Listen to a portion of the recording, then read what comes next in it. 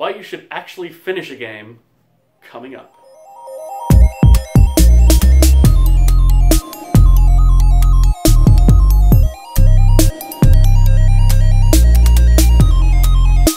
Hey guys, it's Travis Vroman here with another indie game development tip. Uh, tip number nine actually finish a game. Uh, so, one thing that I see independent uh, game developers, especially new independent game developers, do a lot is they'll start a new project and they'll say, Yeah, you know, this project's awesome. Uh, I can't wait to, to finish it up and release it and get a game out there. And yeah, it's gonna be this is gonna be awesome. Uh, and then they don't finish it. They they get uh, two months into it or so, or, or uh, you know, however long it is they work on it, and they sort of they lose that drive to finish the game, um, and they so they don't finish it. They don't release it. Nobody else ever gets to see the work that they put into it. The blood, sweat, and tears uh, that are been poured into that game are lost, and and nobody else gets to experience that. And it's it's honestly it's a damn shame.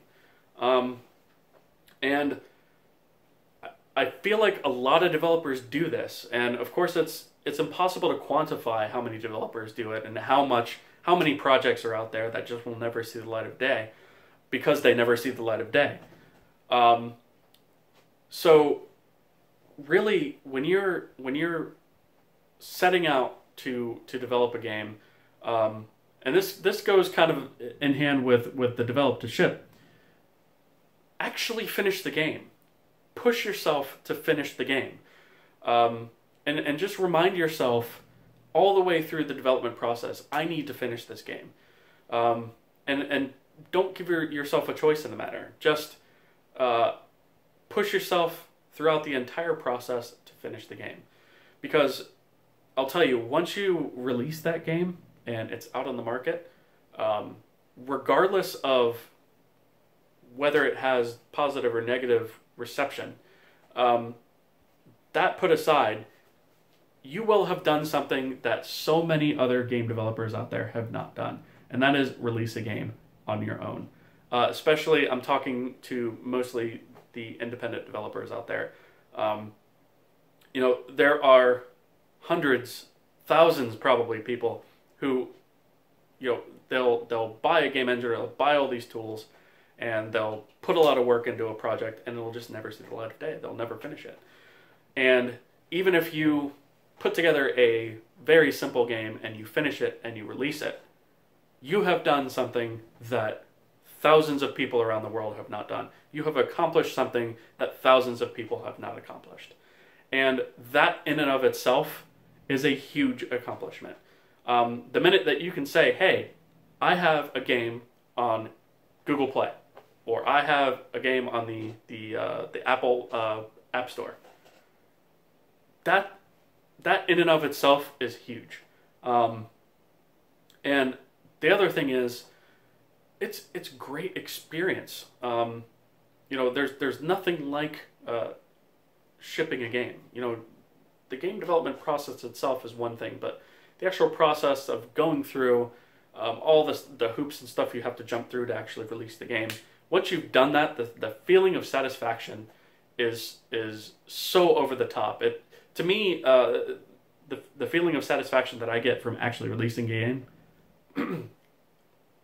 the feeling of, satisfaction that I actually get from releasing a game, actually far outweighs the process of developing the game um, because it feels like such a massive accomplishment to me, and I'm so proud that I that I've that I've done that. Um, and I say this as as a person who who works in game development also professionally, um, you know, as my full time job. Um, you know, we release games at work all the time, and that's done with with a team of people, and that's great too. Um, but to also have games that I've developed on my own, single handedly, develop those games, um, you know, from from inception all the way through, you know, up till testing and and then release on on, on the market to have done all that by myself, I still consider a massive accomplishment. And like I said, the feeling that you get from it is is second to none, to be completely honest. Um, so whatever it is that you're working on, whatever project that you you decide to start, Um, and it's again, this is not necessarily only related to game development. This can be really related to anything. It could be related to uh, a web application that you make, for example, or a desktop application. It could be anything.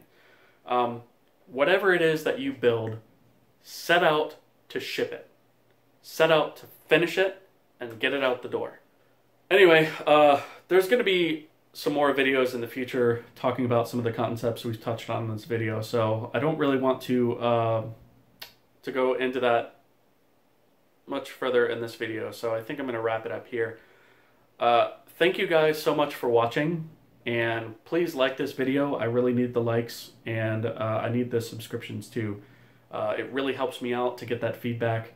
Um, and please leave a comment below uh, and, and let me know if you guys have finished the game um, or are working on a project that you haven't finished or maybe that you want to finish and, and um, you know, let me know what you guys think um, because I'd really love to hear from you. Uh, anyways, thank you guys for watching and I'll see you tomorrow.